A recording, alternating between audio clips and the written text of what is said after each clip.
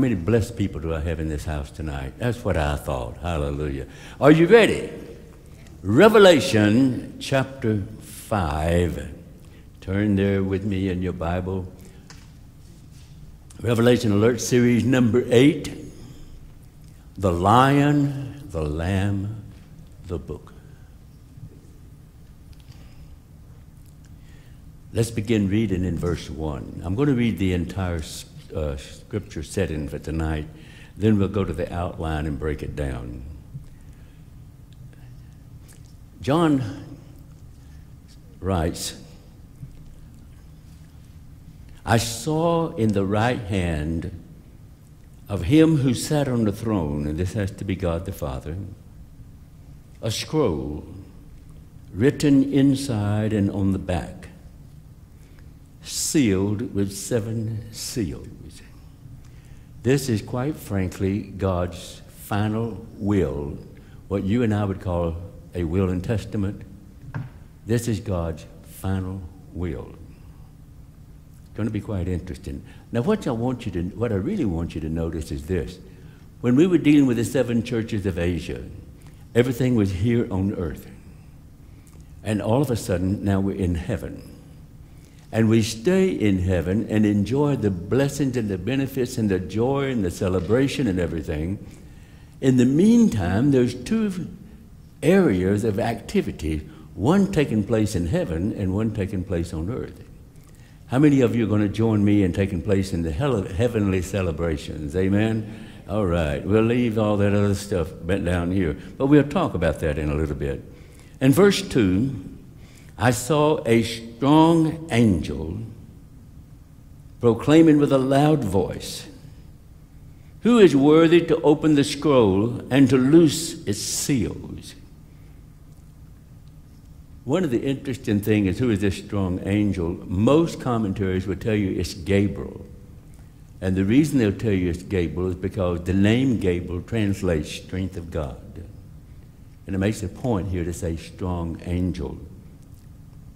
Verse 3 And no one in heaven, or on earth, or under the earth was able to open the scroll or to look at it. So I, John, wept much because no one was found worthy to open and to read the scroll or to look at it. But one of the elders said to me, Do not weep. Behold, the lion of Judah, the root of David, has prevailed to open the scroll and to loose its seven seals. I looked and behold, in the midst of the throne and of the four living creatures, and in the midst of the elders, the 24 elders, stood a lamb. At the beginning of that verse, John says, Don't weep. Behold, the lamb, the lion Behold the lion. And he looked and saw a lamb. How do you see Jesus tonight? Sometimes I see him as a lamb, sometimes I see him as a lion. In the Greek, the word lamb means little pet. And if you go back to the sacrificial lamb, they brought that lamb in the house to protect it and take care of it. And by the end of the year, just before that lamb was to be taken for sacrifice, it had become a pet. It had become a part of the family. The impact of having that lamb slaughtered on the children and the parents had to be very traumatic. I want you to understand that that should be the same feeling you and I have when we think of the fact that the Lamb of God lived with us, walked with us. He was with us, he was, he was for us, then he is in us, died for us. let's not lose the glamour or the impact of the death and resurrection of Jesus Christ. And so he looked, and there stood a lamb as though it had been slain, having seven horns and seven eyes, which are the seven spirits of God sent out into all the earth. Wish I had a lot of time to spend on that, but we'll come back to it. Then he, Jesus, the lion, the lamb, came and took the scroll out of the right hand of him, the Father, who sat on the throne. Now, when he had taken the scroll, the four living creatures, the 24 elders, fell down before the Lamb, each having a harp and golden bowls full of incense, which are the prayers of the saints. They sang a new song saying, You are worthy to take the scroll, to open its seals, for you were slain and have redeemed us to God by your blood out of every tribe, every tongue, every people, every nation, and have made us kings and priests to our God. We shall reign on the earth, talking about the millennium reign. John said, Then I looked, and I heard the voice of many angels around the throne, the living creatures, the elders, and the number of them was 10,000 times 10,000 and thousands of thousands. That was a Greek expression which means innumerable host. You couldn't count them all. There's going to be a lot of people in heaven. For those of us that like to sit alone and be quiet, I'm afraid heaven is not the place you want to be in. It's noisy. Can you imagine an innumerable host of people singing? And they've got harps. I just pray that those harps are all tuned to the same key. Truthfully, in the Greek, the word harp means the strings of the heart. And so, what you have is the strings of the heart making melody and praise unto the Lord, along with golden incense, which is praise and worship, and all the prayers of the saints. You and I have a part in watching God fulfill every prayer you have ever prayed. You say, well, what about, he'll take care of that one too. Go ahead and read with me verse 12. Remember a while ago we read the lamb had seven horns and seven eyes. Those seven eyes are the Holy Spirit, the seven spirits of God. And so verse 12 saying with a loud voice, Worthy is the lamb who was slain. And then it lists the seven spirits of God, or the seven Holy Spirits, all in Jesus, to receive power, riches, wisdom, strength, honor, glory, and blessing. Seven. You can find reference to this in Isaiah, and it would be mentioned two other times in the book of Revelation. Now, some of the words will be different, but it has the same meaning, okay? Now, how many of you noticed that Jesus came out of the throne and took the scroll from he who sat on the throne? Jesus said, As I am is in the Father, you are in me. And then the seven spirits of the Holy Spirit was in Jesus. And the Holy Spirit came and dwelt in us. And Jesus said, I would never leave you or forsake you. Then he turned right around and said, The Holy Spirit would never leave you or forsake you. How many of you have Jesus tonight?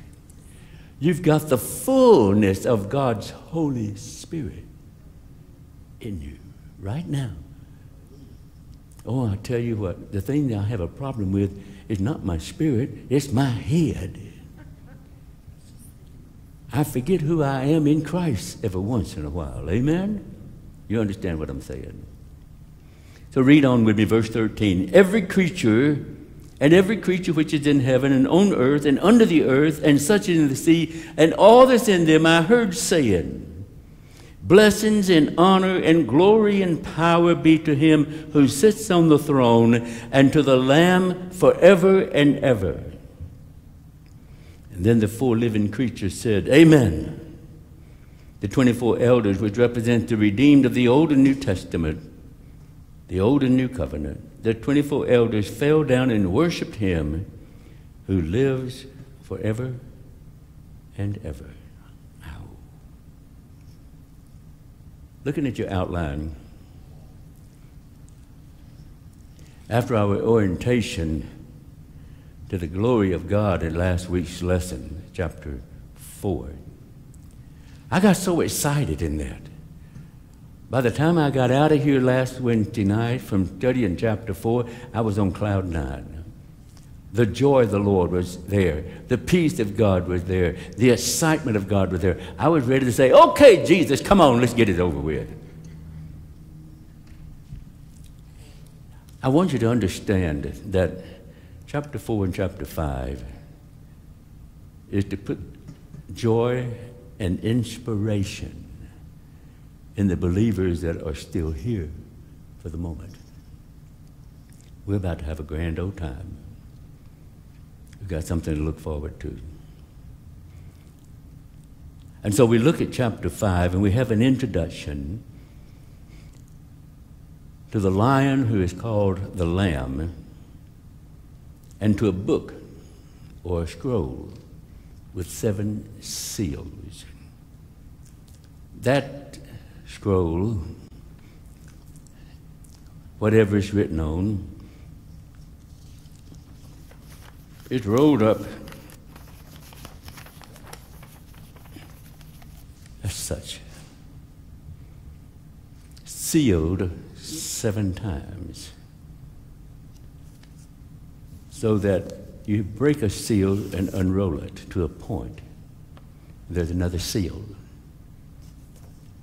You break that seal, unroll it to another point. And you continue to do that at each point, when it's completed, there's another seal. Now, the interesting thing is, in, in that hour, in that day and time, a scroll like that was a person's last will and testament or a legal document, which meant that there had to be a witness, usually two witnesses, for the breaking of the seal. And that witness, or those two witnesses, had to have a legitimacy to be there for the breaking of the seal, which oftentimes meant their name was written there. Or they were like a lawyer or a legal representative of the court, and they had the authority to do this. And so what happens is this John sees that there is a scroll in the throne and at the moment, he sees nobody is qualified to break the seal. He begins to weep because it meant that there was nobody there to honor the will of God. One of the elders said, It's okay, John. It's okay. Don't weep.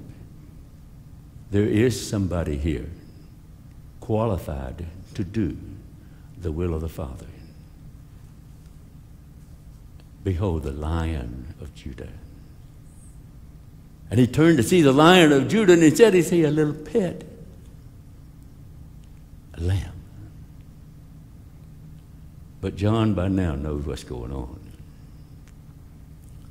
Jesus comes forth and takes it. Now, it's written inside and on the outside. And so if I'm looking at the outside, what I see not only is an authorization for the breaking of the seal, but I see a summary of what is on the inside. And so I look at the summary, ah, it's talking about how to make spaghetti. Then I break it open, and there's a recipe in detail. And so that's how the scroll works with seven seals. Now, go back to your outline. Letter A in the introduction. While the broken seals will release all the events of the seven year tribulation, the events in heaven during that time are fivefold. Two things I want to mention here. Number one, the seven year tribulation had nothing to do with the church, it had nothing to do with the redeemed. The seven year tribulation is actually the 70th week that we just studied when we were in the book of Daniel. This is God's final dealings with the nation of Israel and with the Jew. We'll break that down just a little bit more in a little while, but during that seven year tribulation, we call it, that great tribulation, the first three and a half years on planet Earth are wonderful. No problems. Everything's great. Everybody's making money, nobody's sick. The government and the nations are getting along together. Husbands and wives aren't fussing and fighting. Everybody's getting along fine. Then all of a sudden, right in the middle, things completely change because the Antichrist changes his whole purpose and focus. Now, in heaven, during the seven year tribulation, you and I are going to be involved. The first thing we're going to be involved in is the judgment seat of Christ. Now, the judgment seat of Christ, we're not judged for our sins, our sins were judged at the cross. The judgment seat of Christ has to do with the ministry and the calling that God put on our lives. What was my purpose for being on this planet? Was I called to be a gardener? Was I called to work at Walmart? Was I called to witness to that brother at my son's funeral? What was my calling? And so what happens is this because you've been faithful over a few things, I will make you ruler over many things. So the whole thing about the judgment seat of Christ is placing us where we're going to rule and reign with Christ for a thousand years. Now, the next thing after that is the presentation of the saints. Think of it this way you've got a wedding about to take place. The pastor and the groom walks in. The music is playing. And all of a sudden, in the back of the room, the doors open. And here comes the wedding party. And they walk according to the music. They're taking their time. Some of them walk fast, fast music. Some of them walk slow. Some of them do it the old traditional way one step, pause, one step, pause, you know, this kind of thing. The presentation takes place. And at this moment, as I'm sitting in my chair, studying, going over my notes, thinking about what I'd say tonight, I suddenly realized something. This could be a very trying moment because of the thousand times ten thousand plus thousands. In other words, an innumerable host. Do you know that there's going to be a long line in heaven? There's going to be a long line at the judgment seat of Christ. And there's going to be a long line in the presentation of the saints. We will never get to the dinner table for the marriage supper of the Lamb before we are starving. Okay, I'm kidding. But that was what was going through my mind as I was looking at that. I'm thinking about the presentation of the saints, ladies and gentlemen, and I present to you Evelyn. And she comes walking in, and I present to you Mikey, and he comes walk. How long are we going to do this, God? You know, first of all, time doesn't exist there, so it'll be quick. Thank you, Jesus. Okay. It's going to be a long graduation, Mama. the third thing is, after the presentation of the saints, of course, is the marriage supper of the Lamb. I think the marriage supper of the Lamb, if you remember, this is uh, the, the way this takes place is the presentation of the saints takes place before heaven. Everybody takes their place at the table. And then you hear the band strike up to uh, the song of something about here comes the chief, you know, that kind of thing and then the doors swing open, and in comes Jesus. And everybody goes into a roaring and a celebration. Yay! Jesus is here. He comes to the head of the table. He reaches down and picks up a cup and he says, And now, I drink this cup with you. It wasn't the first cup, it wasn't the second cup, it was the last cup. And it's called the cup of victory. And everybody's going to stand up. Everybody's going to lift their cup with Jesus. And as we drink, we're going to have a victory celebration. Can you hear the noise in heaven right now? Hallelujah. I don't want to minimize this at all. It is a glorious celebration. It's beyond anything we can imagine. There hasn't been a party on planet Earth that's going to measure up to this. Mama's going to be there, grandma's going to be there, the kids are going to be there, we're all going to be there. Hallelujah. The banquet is over with, and we will leave the banquet room to prepare for the second coming of Christ to planet Earth. In the rapture, he doesn't come to earth. We meet him in the air. So the second coming of Christ is where we come back with him, riding on horses. The Battle of Armageddon is the agenda. And you and I are not involved in that battle. Because when Jesus comes and the Antichrist comes to confront Jesus, Jesus simply opens his mouth and speaks the word of life called the two edged sword. The battle is over with instantly. Yes, the blood flows to the horse's bridle. It fills the valley, the valley of Megiddo, which is 184 miles long. At its widest point, four miles. At its closest point, 40 feet. That battle is over, and you and I move in to our positions. I have no idea what it's like. But I do know from Adam a couple of things that you and I will be able to do.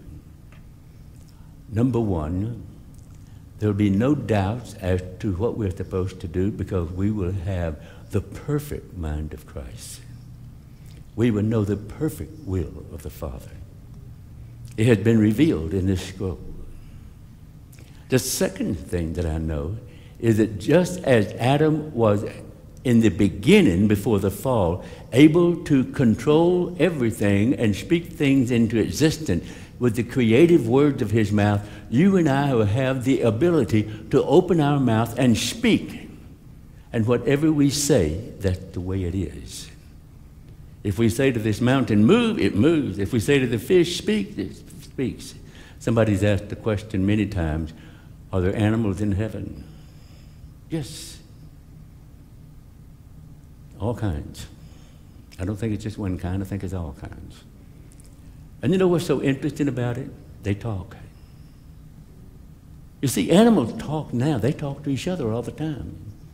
You and I just can't understand them. But once in a while, we have a relationship. For example, I had a relationship with a squirrel one time, and I knew exactly what that squirrel was saying. Hello? I knew when he was happy and when he was unhappy. I knew when he, you know, I just, uh, I called him Jake. Jake was territorial, of course. And Jake liked to play little games. Jake liked to hide so that when I come walking through the house, he could jump on my shoulder and boo, scare me. I would be coming in, you know, I got my mind on something else, and all of a sudden here comes Jake, bam, right in the top of my head. And then hang on with those claws. Had an episode with Jake. Jake loved fried chicken. And so did I. And one Sunday afternoon, we had just finished eating fried chicken, and back in those days, I was not saved. I was a barbarian that ate with my hands. And I had chicken grease all over my fingers. And I got up from the dinner table to go wash my hands. And as I walked through the hallway, Jake jumped on my shoulder, and I said, Oh, hi, Jake. And I reached up to pet him, and he smelled that chicken grease on my finger, and my finger got lodged in his teeth. And I'm shaking him. Oh, he's holding on for dear life, and I'm doing this with Jake, and he's everywhere except off of my finger.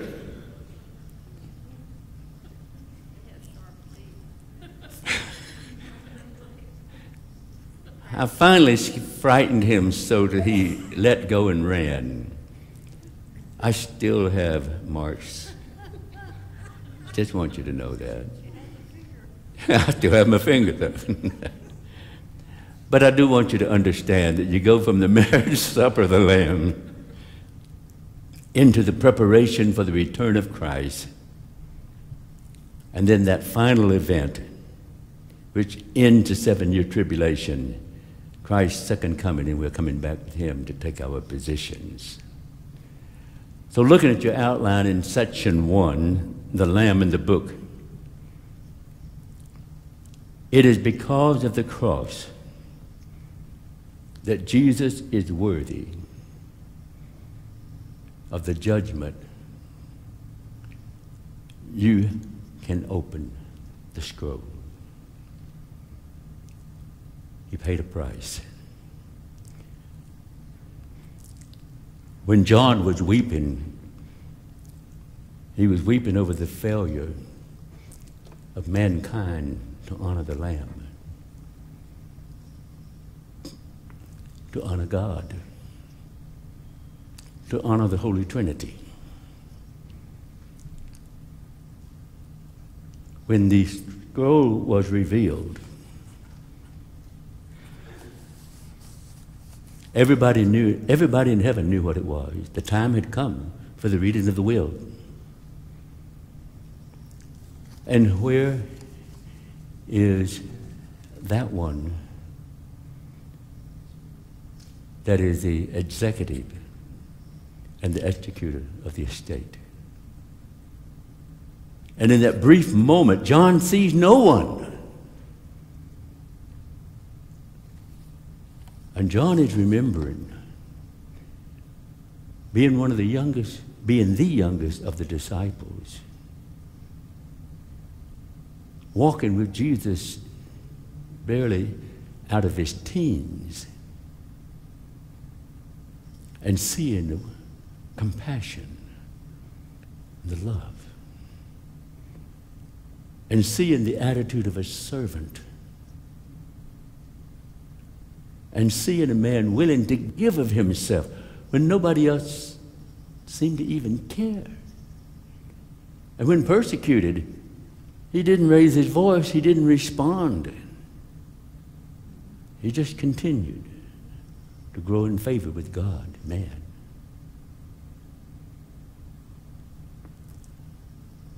John's remembering how he was beaten, how he was mocked, how he was ridiculed crucified.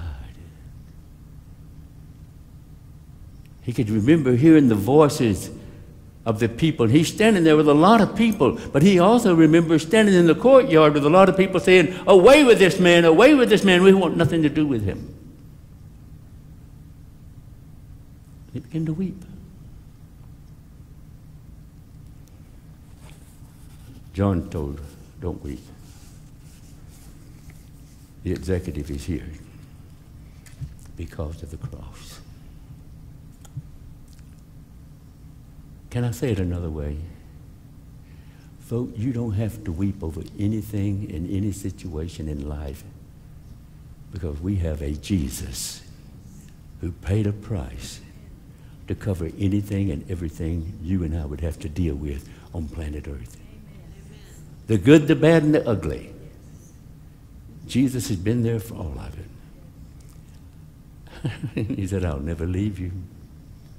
When you're struggling, I won't abandon you. I'm right there for you. Hello. Now, those seven seals mean that a witness, or at least usually two, are required for the opening of the seals And the witnesses for these seals are the seven dispensations of time. I listed those in your outline. The definition of the word dispensation is a stated period of time. And during that stated period of time, God related to man by a certain standard or covenant.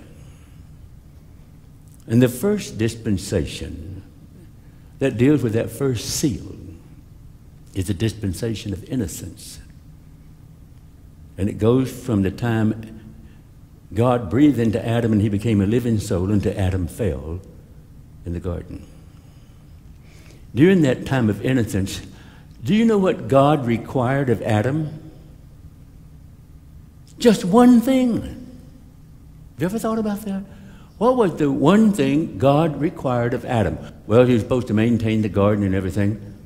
There was something for Adam to do. The only thing God required of Adam was fellowship. That was the whole deal. In the cool of the day, God and man walked together. Adam, he didn't have a care in the world. If he was walking down the street and he decided, hey, you know, I'd really like to have a Whataburger. The minute he said Whataburger, poof, there's the Whataburger. When God told him to maintain everything, he said, tree, trim up, shape up. The tree went, hmm, trimmed up, shaped up. You have what you say. If you say to this mountain, Be moved and cast into the sea, it will obey you. If you doubt not. Hello. The dispensation of innocence ended when Adam learned the difference between life and death, blessings and curses. He was no longer innocent. Now, Jesus had to pass the same test. If Adam went through the dispensation of innocence, Jesus has to go through something in his lifetime that matches up with that dispensation of innocence. And it was found when they had him on trial, and Pilate said, I find no fault with him. He passed the test. In other words, Jesus passed the test for all seven dispensations of time. The second dispensation of time is called the, the dispensation of conscience. And this went from the fall of Adam to Noah. Now, when you get to Noah, God said that I've had it with these people. These people have done everything except turn to God or talk to God or fellowship with God. They've been doing their own thing and they have become perverted there was not one on the planet that had a consciousness of God save Noah. And Noah found grace in the eyes of the Lord. God said, Noah, time for me to change things. How many of you had that moment in your life when God said, time for me to change things? You know, as a child, you and I went through a dispensation of innocence. And as we became older, we came to that dispensation of consciousness of knowing right and wrong and having to make choices. And thank God for those of us that had parents that tried to point us in the right direction, but the choice was still ours.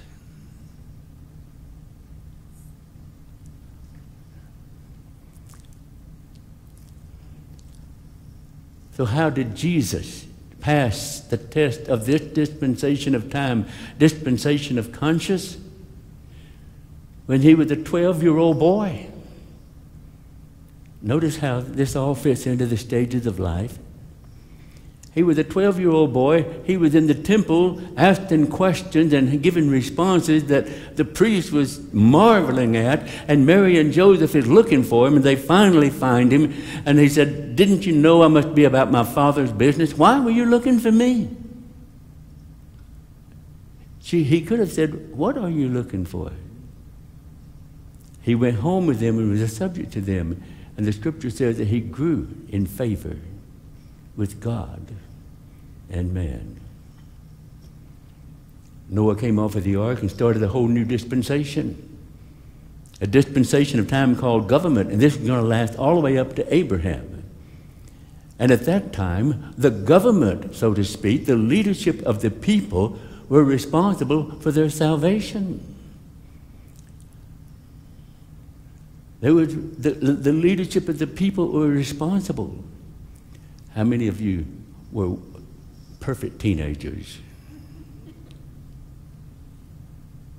How many of you remember that you were not even legal until you were 18? Who was responsible for you? The government in the house was responsible for you. Hello?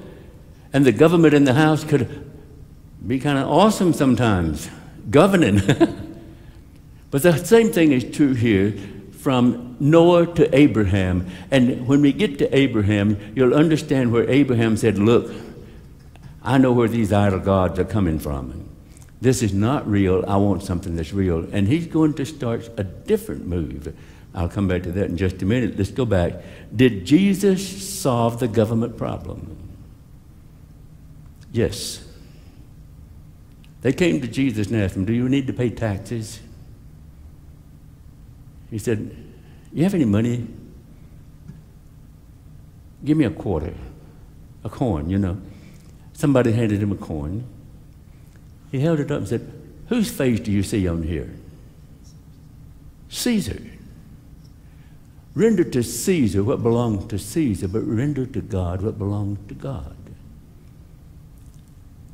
My, my, my. How many of you favor your mama? How many of you favor your daddy? How many of you favor the dog? How many of you don't know? But you know, the whole idea is we are stamped with an image of our inheritance mama, daddy, whatever. But there comes that moment where render honor and respect unto your parents and your grandparents and your family heritage and legacy. But render to God what belongs to God. And Abraham stepped back one day and said, No disrespect, Mom. No disrespect, Dad. But it's time for me to find God and honor Him. His nephew Lot said, I'll go with you. And they took off not knowing where they were going. But what you have from Noah to Abraham, Jesus fulfilled it. When he said, render to God what belongs to God.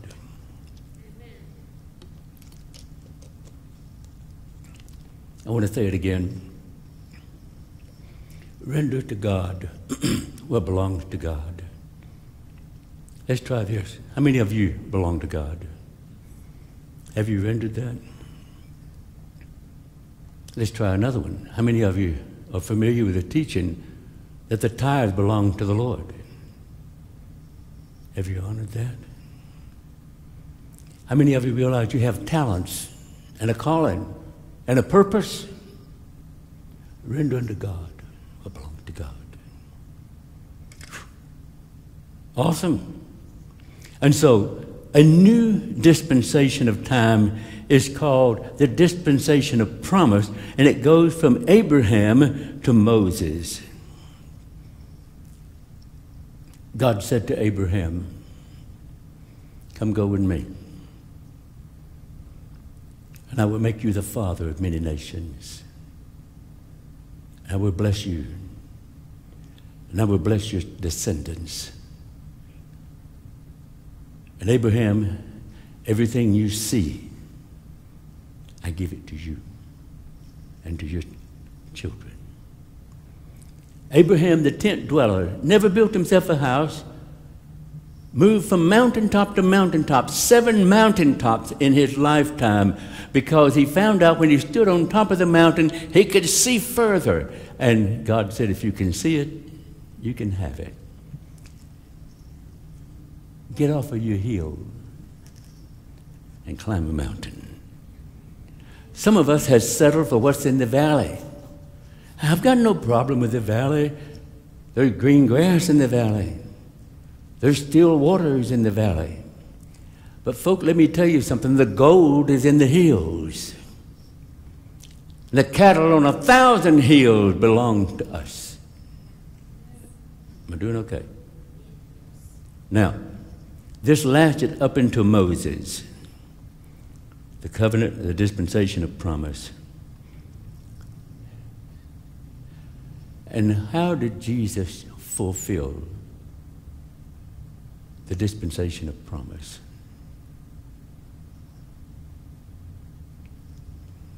He said, I no longer call you servants, but friend. He said, In my Father's house are many mansions. If I go to prepare a place for you, I will come again and receive you unto myself, that we may be together. We're family. Hallelujah. We're the family of God. We're brothers and sisters in Christ with a heavenly home and a heavenly hope and a heavenly victory. Ow.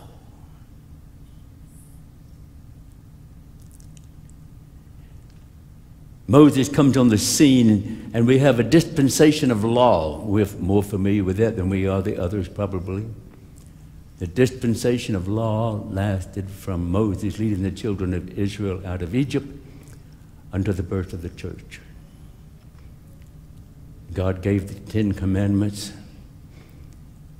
and the subcopies under those Ten Commandments added up to 532 little commandments. How in the world are we going to figure out. You know what? I, some of you would have a problem telling me what the Ten Commandments are. You would never make it through the 532 subcopies.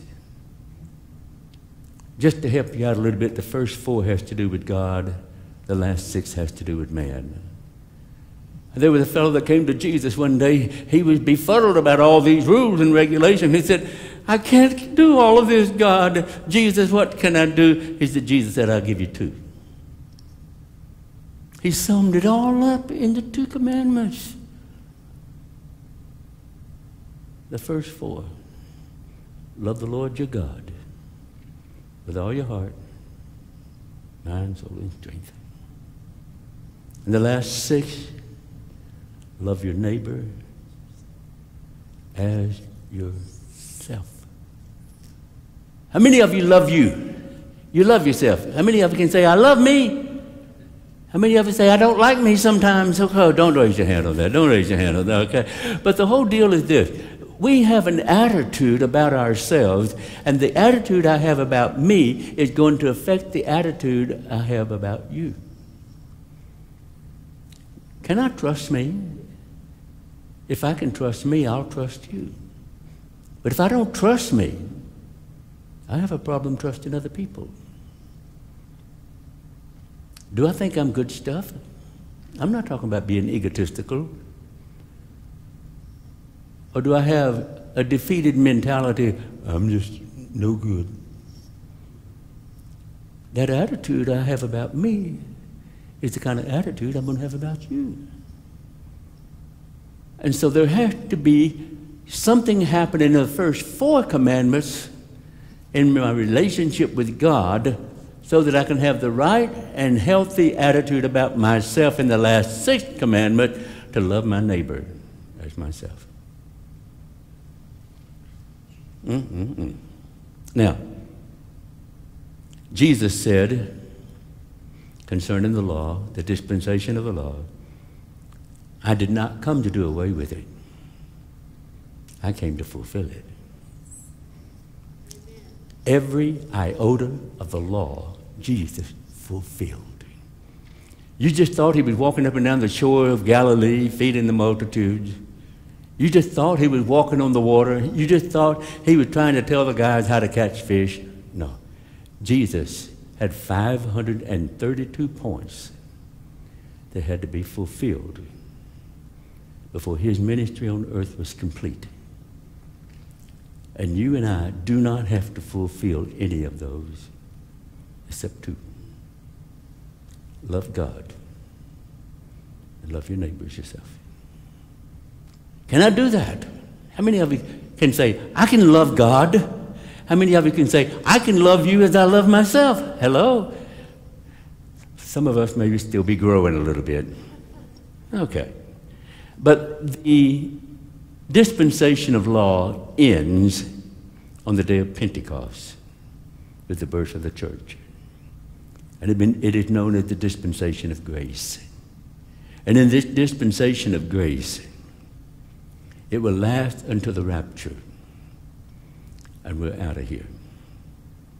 Now, has this dispensation been fulfilled? Has the victory for this dispensation been fulfilled? Dispensation means a measure of time. With God, there is no time, so it's not an issue in heaven. The issue is down here. And because we deal with time, this dispensation has not been fulfilled. It will be fulfilled at the rapture. That is why the rapture must take place. And that is another reason why the rapture will take place before the tribulation begins. So I'm definitely pre trib. And this is what I like. What was Jesus' comment about the church? Peter said, You're the Christ, the anointed one with the anointing that breaks every yoke of bondage. And Jesus said, Peter, you, Peter, Petro, piece of the rock. And on you, a piece of the rock. And on you, a piece of the rock. And on you, another piece of the rock. And on you, another piece of the rock. All of us are part of the rock.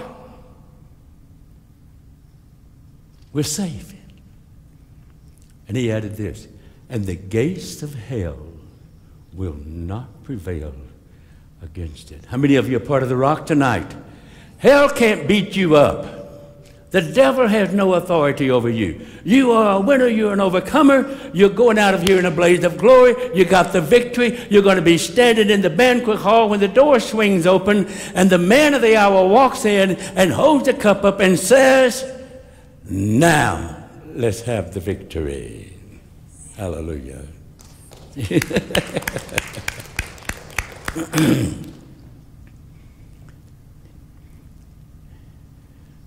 The final dispensation, dispensation of peace. It's a measure of time called a thousand years.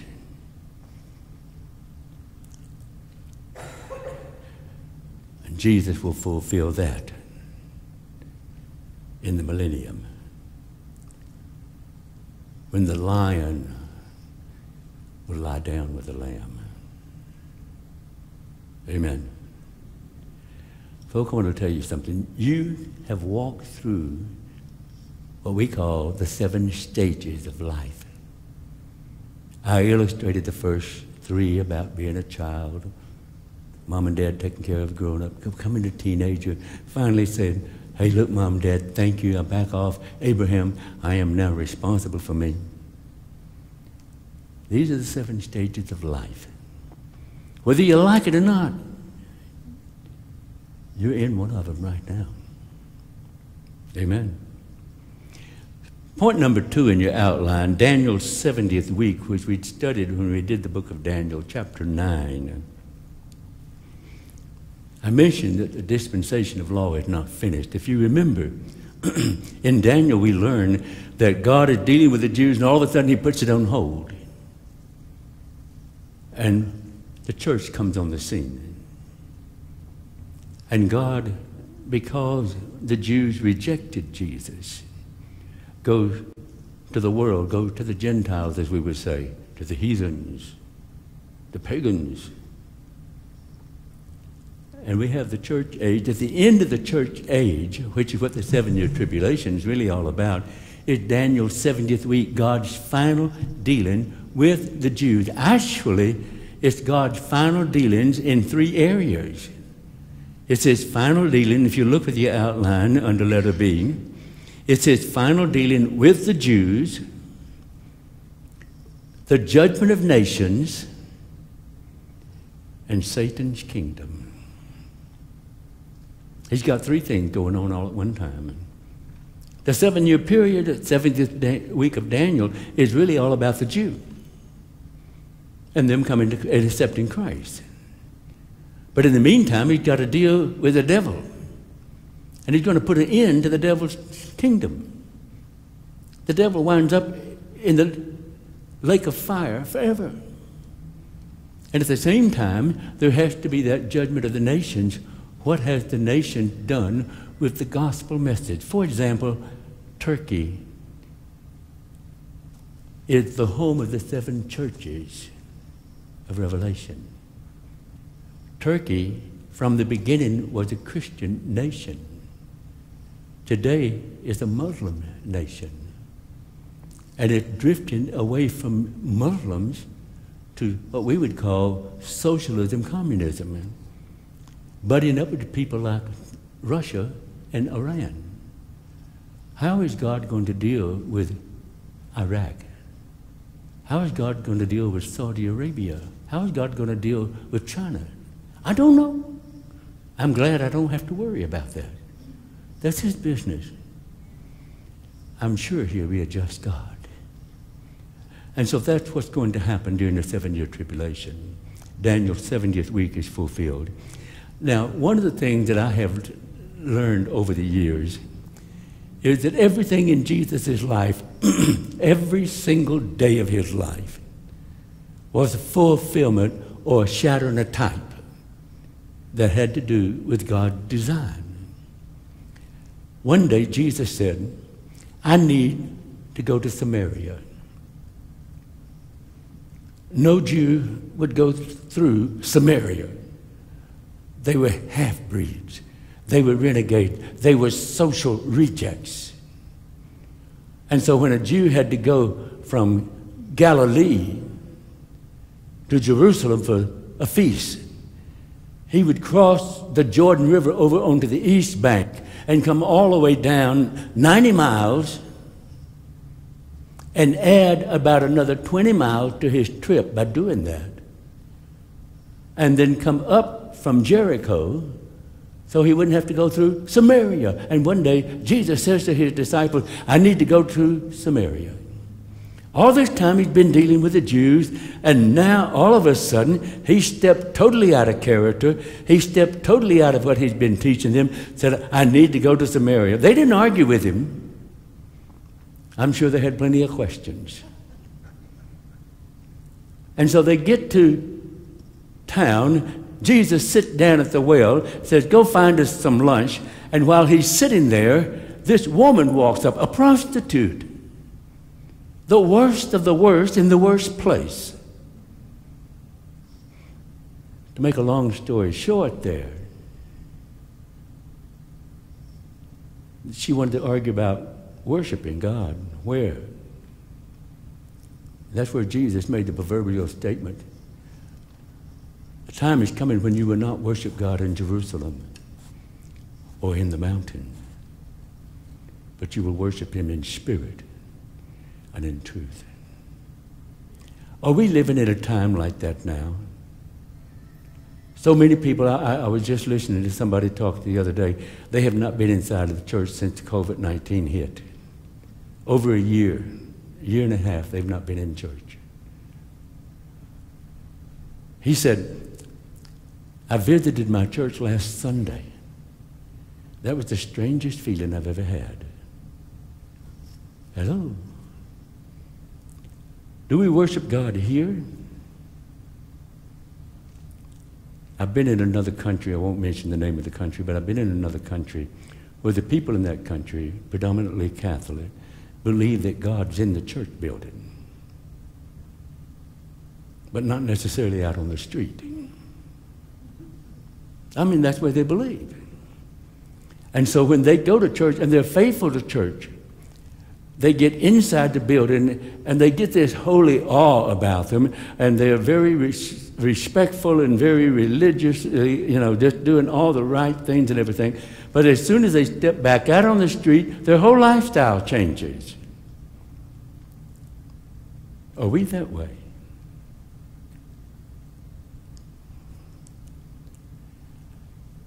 The woman went and told the people, the men of the city, come and meet a man that told me all about myself.